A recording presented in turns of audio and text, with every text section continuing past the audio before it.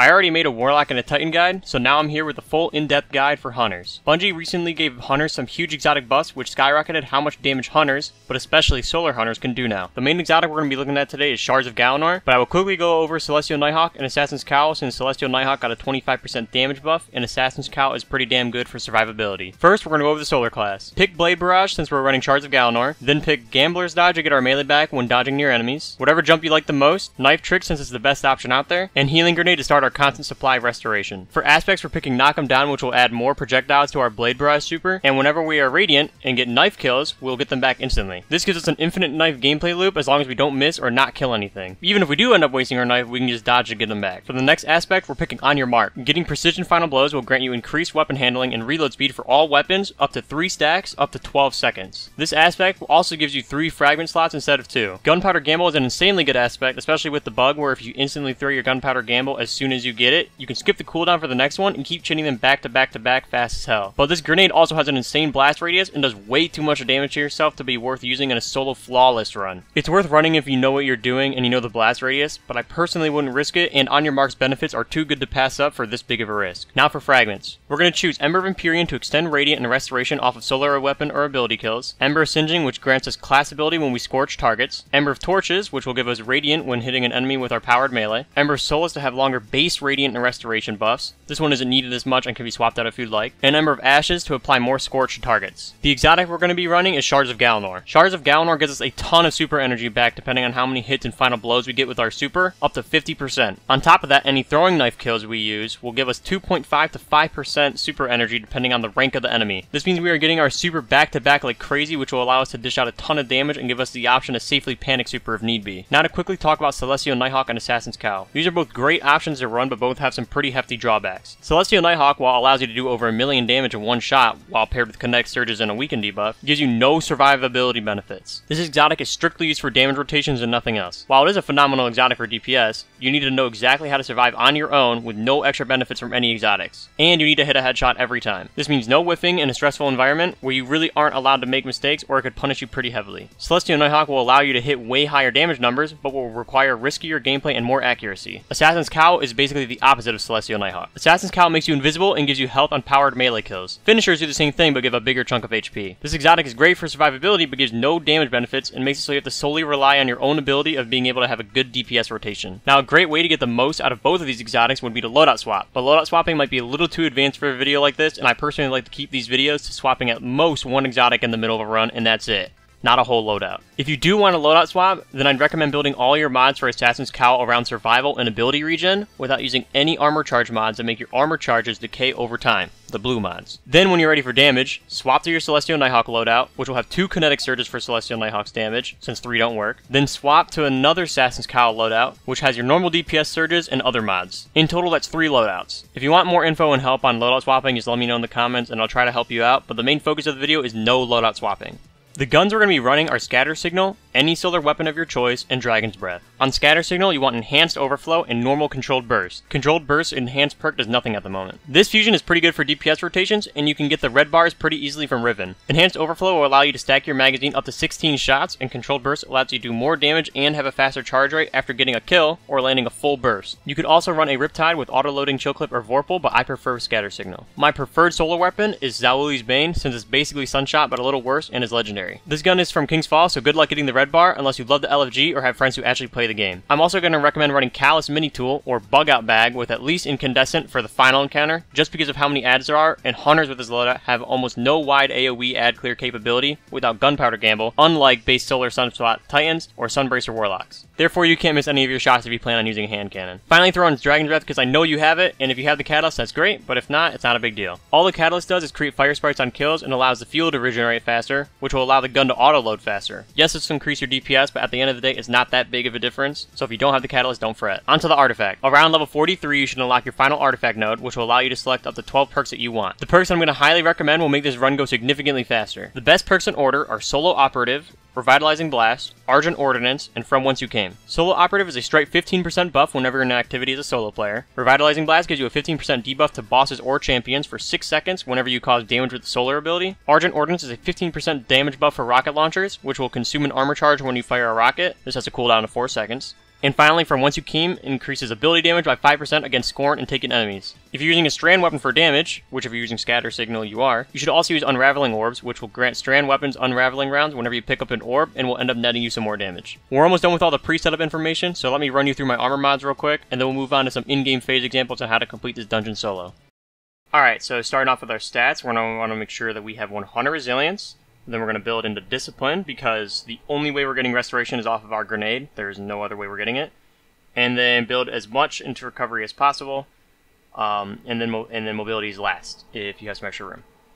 Um, starting off with our helmet mods, I'm running heavy ammo finders just because I don't need something like dynamo. But if you're having trouble getting your super cooldown um, fast enough, which I find that very hard to believe with Shards of Galanor's new buff, then you can run some dynamo mods. Um, then we're gonna run harmonic siphon because harmonic siphon's cooldown in between making orbs is almost zero it, there might be a cooldown. I'm honestly not even sure, but I think there is none. And we need a lot of orbs to make armor charges uh, to get our surges. So, in combination with Solar Siphon, or Harmonic Siphon, I mean, we're going to also be using Heavy Handed, which will make orbs of power. Um, and this is based off of your powered melee final blows. So, this has a cooldown though. So we're not just just we can't just use this because the cooldown is too high. It's like five seconds, I think, maybe three. Uh, so in combination with that and Harmonic Siphon, we'll be making a ton of orbs, um, enough for us to have our armor charges up almost all the time. Uh, and then we're going to be running Impact Induction, which will give us our grenade off of powered melee attacks. Uh, notice that it's not kills, it's just hits. So you can just damage an enemy and get some charge off of that. Don't worry about running any sort of dexterity mods because on your mark gives us a fuck ton of handling uh, and reload speed. So both best of both worlds. Onto the chest play. um, I'm running Concussive Dampener just because there's a lot of AoE attacks, uh, but you could run Sniper Damage Resistance for the crossbow guys, but especially make sure you're running Void Resistance because those crossbow guys do a lot of damage. I'm also running Harmonic Resistance just because the big tall knight guys that drop the totems uh, do solar damage. And I'm pretty sure all the other Scorn do as well. So that's what I'm running there. On legs, I'm running two surges and one scavenger mod, just because I don't want to swap my legs in and out a ton. Um, I'm not running three surges just because there's diminishing returns and it hits in pretty hard for the third surge. Uh, but on my chest, I am running a separate chest plate just for swapping to get some extra heavy ammo when rallying and when I'm maxed out on heavy in encounter and I'm pretty safe. Onto the cloak, I'm running two time dilation mods and if I had an extra slot, I would probably run Bomber, just so that I have a little more room to get my grenade back. You could also run Special Finisher if you have a lot of armor charge. Uh, if you notice you have a lot of uptime on armor charges, armor charges, and you don't have enough special ammo. I never ran out of ammo, or I ran out of ammo, but it wasn't enough to the point to where I really, really needed to focus on some special finisher mod or, uh, you know, anything crazy like that. So, uh, pretty straightforward. You're just going to be building straight into damage, making sure you're not dying to the snipers and using void resistance, um, and making sure that we are generating enough orbs for armor charges.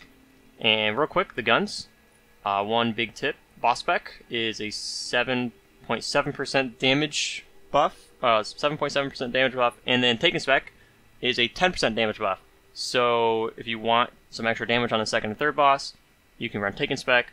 Uh, I run Taken Spec on my Calus Mini Tool for the third encounter because I find using a hand cannon for the third encounter um, only on Hunter I find it pretty rough just because if you miss a shot or two, you uh, might get just gang banged by all the Scions because they like to uh, replicate themselves pretty fast. So I'm running Calus Mini Tool. I got Incandescent and Unrelenting.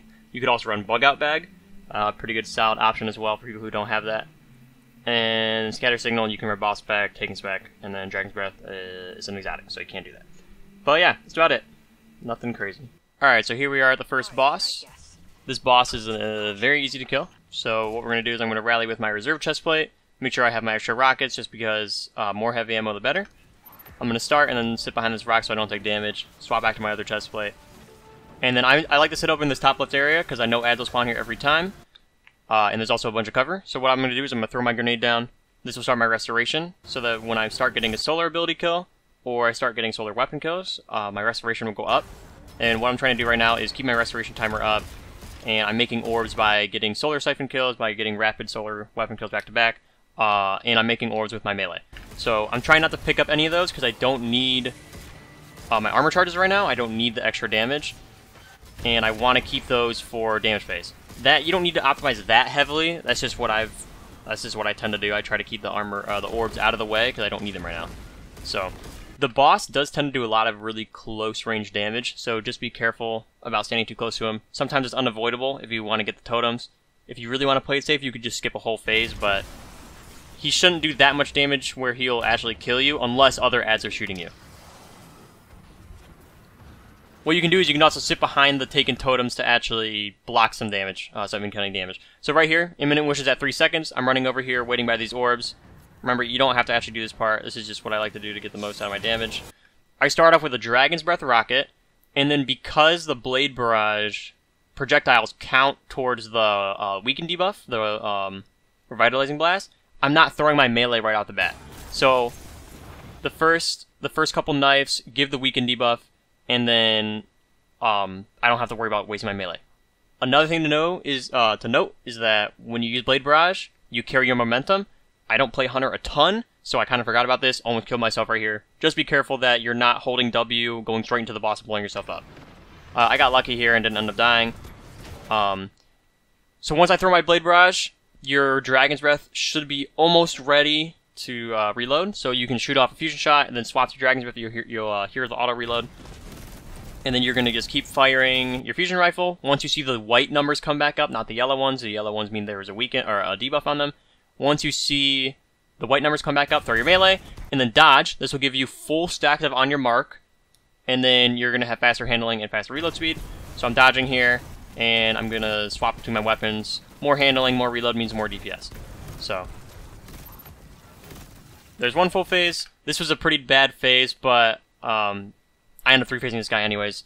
I ended up almost blowing myself up twice, and or almost dying twice, almost blowing myself up. You can get this done pretty easily. Not that bad. Uh, I ended up choking. Actually, I could show you the second phase. It's probably probably better that I show you an actually good phase. So right here, I'm standing here. I'm getting all my armor charges ready. It's starting. I'm ready for it. Dragon's Breath, Blade Barrage. I don't need to apply Weaken. And I'm a Fusion, Fusion, Fusion. I get off about three to four Fusion shots every time before I swap to my Dragon's Breath. And then when I fire my Dragon's Breath the second time, I throw my knives immediately after.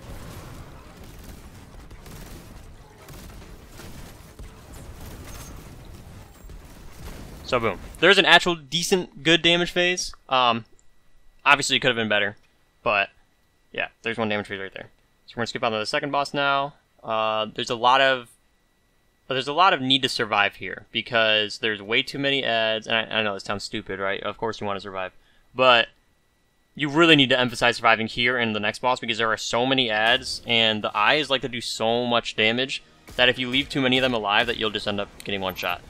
So what I like to do is I like to start off by this top left pillar. This is just habit. You don't have to do this. I just like to start up here and kill off the Minotaurs immediately, just because I don't want the Minotaurs um, getting too close to me and shooting me with their um, high burst damage.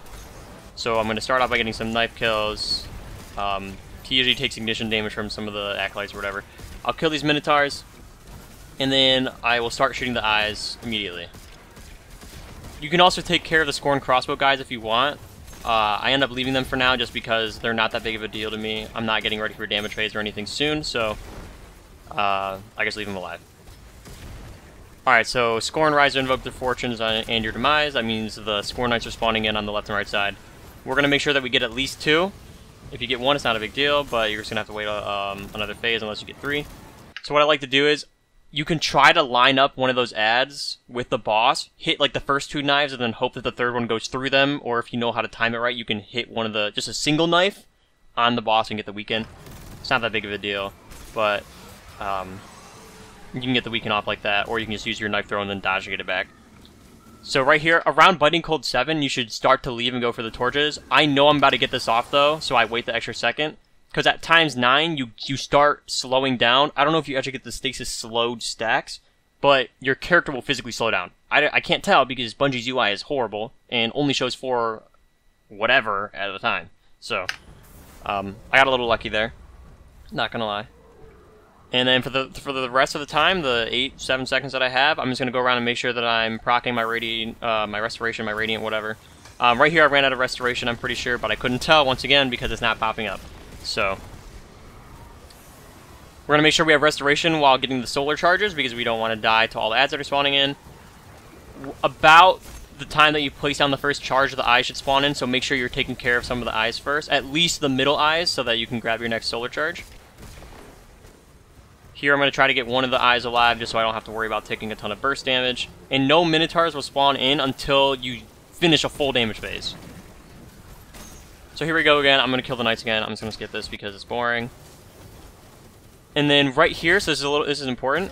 Right when um, the Biting Cold ends, I'm going to dunk one of these charges. And then what I'm going to do is I'm going to wait a little bit before I dunk the next charge because I can wait as long as I want and I want to make sure I'm getting my restoration up and all my armor charges. Right now, I have zero armor charges. Um, I'm pretty sure armor charges prioritize on the buff and debuff list. So what I'm doing right now is I'm going to go and get a knife kill, get some solar kills real quick, try to proc orbs. So I'm generating some orbs. And I'm going to kill this, uh, the Scorn crossbow guys because they do so much damage. It's not worth uh, dealing about. Apparently I left that guy alive. I don't know what I'm doing. So right here, I have my max armor charges. And I could have got it up to 18 seconds by picking up that orb right there. I just jumped over it. I don't know if that was intended or not. But what's going to happen is my restoration is getting kind of low. So I press, I scroll wheel, or I press one of my keybinds to swap weapons.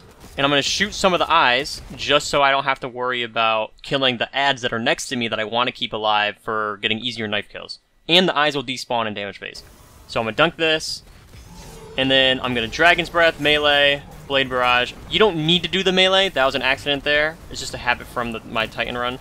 Um, but, like, I, right here, I should have used my melee and then dodged because I would have had a longer uh, debuff period. But it's fine. Dragon's Breath, uh, Dragon's Breath, Blade Barrage, Fusion, melee, Dragon's Breath. So here we go. I'm getting low here. What I should be doing is taking cover behind the pillar, but I'm not. So I throw my uh, Restoration down, and I'm going to get prioritize staying alive for now. So you have some, you have a good, uh, a decent amount of downtime in between. Start my Dragon's Breath off, Fusion. Get my Blade Barrage off again, as there's a habit with my melee again. And I'm just going to keep going with my Fusion until I hear the cha-chink from my Blade Barrage, or I mean Dragon's Breath. Boom, get that off. And then right here, I, I hear this guy shooting me, and I, he's, I know that he's uh, doing a decent amount of damage to me, so I know there's a Scorn Crossbow guy alive. I'm going to go over here and kill him because I don't want him living. And I'm going to dodge near him so that I get my knives back. I'm to kill him in a second, I think just after this. Also, I missed that rocket. It's just bad, bad aim by me. Try to aim toward like the middle of him, just because when he stuns, the Dragon's Breath tends to do a lot of stagger. So make sure you, when you're aiming, um, try to hit him like dead center, like bottom middle, because he likes to uh, jolt his upper body up a lot. So, just gonna keep this damage phase going. I shouldn't have reloaded there. That's just a waste of time. And I, I messed his damage phase up decently, like it could have been way better, but um, even then, I'll show you that I end up doing pretty well. That's fucked. Like, that's that's just tough. He decided to dodge as I threw my knives. That's just unfortunate. So, I end up getting no no melee charge or no dodge. I saw my on my mark, though, so it's nice. That was a lucky hit. Uh, Breath, Blade Barrage, Fusion, Fusion, Fusion, Fusion. Getting shot by the dude who decided to juke me. Actually crazy I'm getting my ankle snapped by ads, but whatever. And I end my damage phase there. So, I messed up my damage phase pretty bad, but look, I got it to the end in Wailing. Like, that was still pretty good. You'll you'll for sure face, you'll, you will three-phase this guy. I know you'll you'll three-phase him. Worst comes to worst, you four-phase him. It's not a big deal. Um, and you can two-phase this guy. You definitely can. So, there's that guy, and then we will move on to the third boss. Uh, I'm using Strand and Eager Edge in between the encounter just because I don't want to risk dying. And... Okay. So, for the final boss, I prefer using Calus Mini Tool, just because with uh, Zaouli's Bane, there's so many Scions spawning in, and they like to replicate so fast, and there's so many other things that's happening, that um, I'd rather use something fully automatic where I don't have to rely as much on my aim. And if you miss too many shots with Zaouli's Bane, you got the long-ass reload animation, um, you might end up dying. And it actually happened to me a couple times. Uh, I died a couple times just because Zaouli's Bane just wasn't fit for this you can use it if you're better than me. I mean, you can anybody can probably use it, but um, I guess like having an SMG here. This is what I use. You can also use Bug Out Bag, which I mentioned earlier. Um, incandescent is really what you're looking for. So just use what you prefer. I prefer an SMG here. That's all I'm swapping around, nothing else. Um, and then when damage phase starts, I'm sitting behind the left side pillar, just because that's what I like best. Um, and I think that's about it. We'll just let this play out. So I'm proccing my restoration here, getting Im immediately getting solar kills. Gonna kill these scions. I'm just throwing my knives every once in a while to make sure I'm getting some orbs. You don't have to do that, that's just what I like to do. You'll get plenty of orbs from Solar Siphon. So immediately, I'm killing these witches. If you get lucky with the Scion spawns, you can kill the Scions and they'll ignite um, and blow up with the incandescent, and they'll actually kill the witches for you. So that doesn't happen as much, but you can do have it happen. Kill the witches immediately. They need to die. They they mess this run up every time. I know the witches in the other runs are important to kill, but for hunters especially, you need to make sure you kill them. So I'm shooting the taken orb because I don't want to sit in that.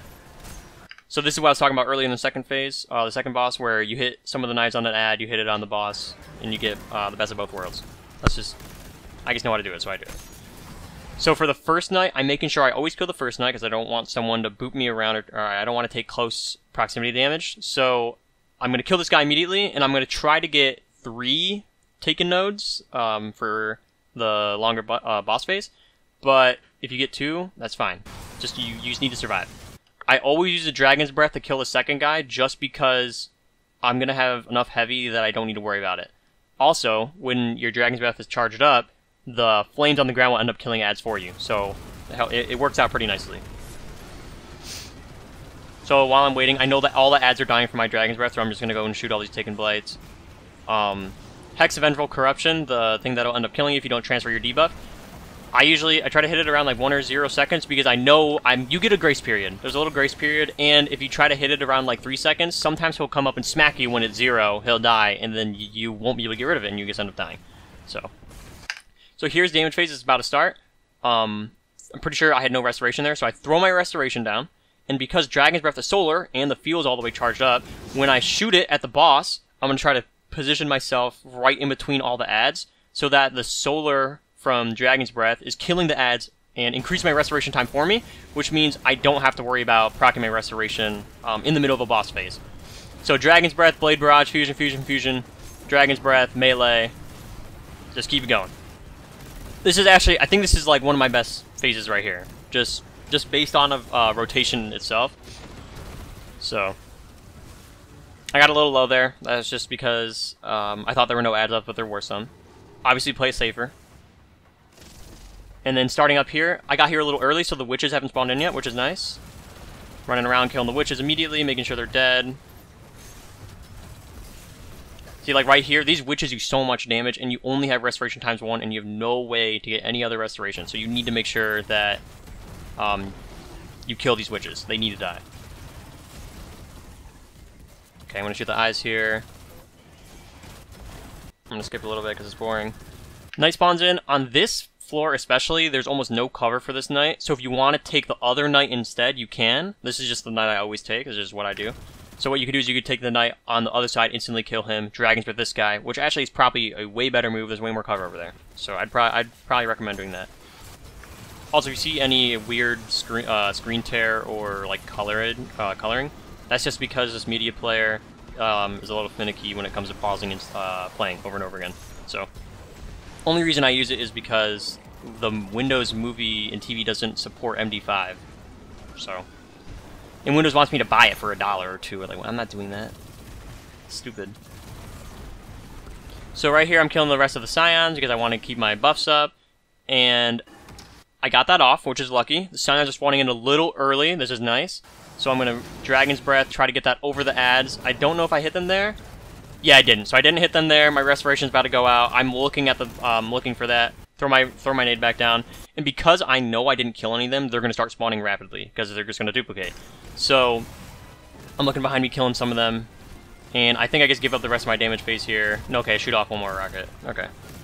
So the smart thing to do would have just to give up the damage phase, make sure you don't die, but um, I ended up killing them with incandescent, I think. So right here, I have so much heavy, two extra heavy bricks in at four. I end up swapping chest plates, and I pick up the rest of this heavy, I max out. Um, I don't need to swap chest plates for special because I'm only running solar reserve. You can if you want, that'd be like really min-maxing, but um, I find that I don't need to do that, so.